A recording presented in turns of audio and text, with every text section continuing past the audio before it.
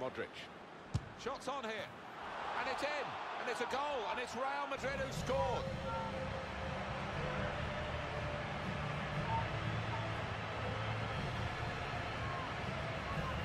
Well, that really has finished the job perfectly. They've dominated the match. Yeah, ruthless. They weren't going to go easy on the opposition. Thoroughly professional performance.